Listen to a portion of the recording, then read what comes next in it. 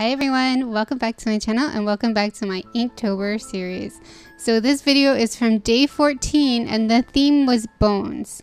I'm going to keep the voiceover kind of short because I feel like this drawing really matches the music I found and I think you'll get the general feel I was going for better if I just switch to music.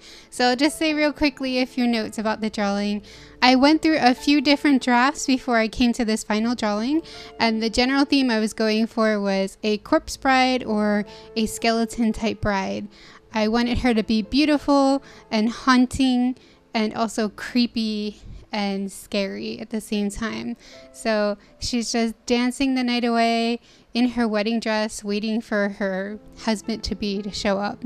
So I hope you guys liked this video.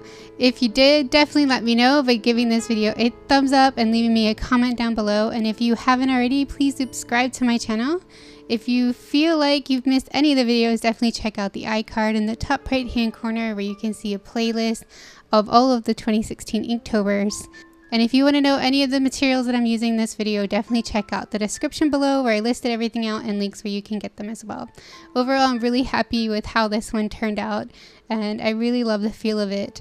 I did have a bit of a happy accident towards the end of it where I had messed up on her dress and then I fixed it with some white gouache and somehow through my impatience and a few mishaps it just turned out to be absolutely gorgeous and I'm really happy with how it worked out. So yeah, thank you guys so much for watching. Definitely keep watching so you can get the feel of this video.